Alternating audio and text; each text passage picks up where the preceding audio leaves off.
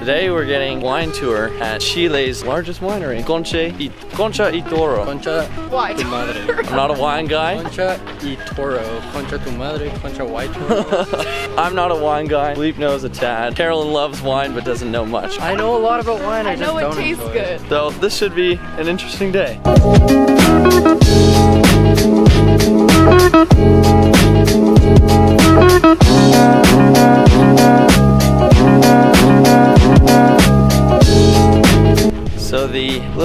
Mansion back there is about 4,000 square meters and the original family that owned this property owned about 54 acres of land which is where this whole park is right in the valley of the Andes. And there's a lot of imported trees and invasive Argentinian birds.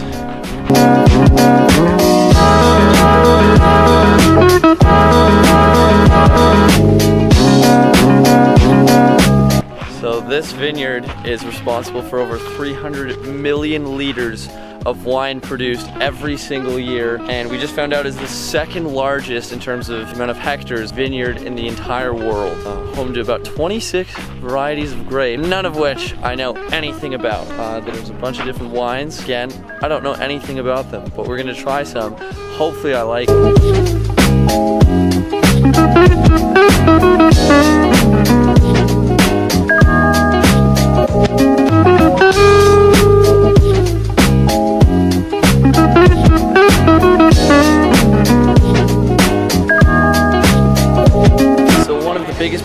with Chilean wines is that when you live in an area where there's so many earthquakes, oftentimes these earthquakes destroy thousands and thousands of liters of wine and products. So that's why they have only two barrels stacked up at a time. In case they fall down, it's a lot less likely that they're gonna lose a lot of products. About as much as I know about any sort of wine ever.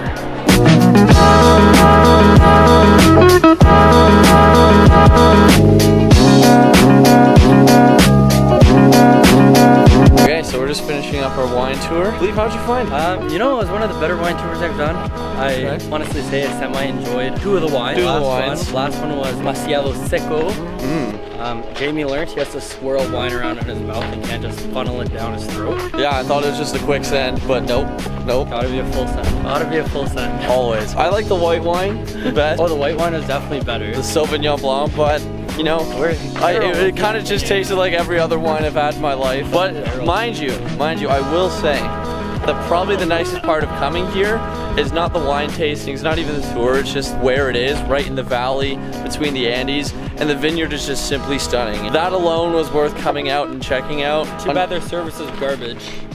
Yeah, they didn't bring us our mango juice. Okay. But anyways, I would have liked to fly the drone, but it's not allowed. Carol, what's what's your assessment? Uh, it was fantastic. It's fantastic. Carolyn One likes of- likes her wine. One of the best wine tours I've ever done. Okay. Well, there you go. You should come here. Cool. You should come here.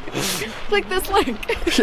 oh my gosh, just do it.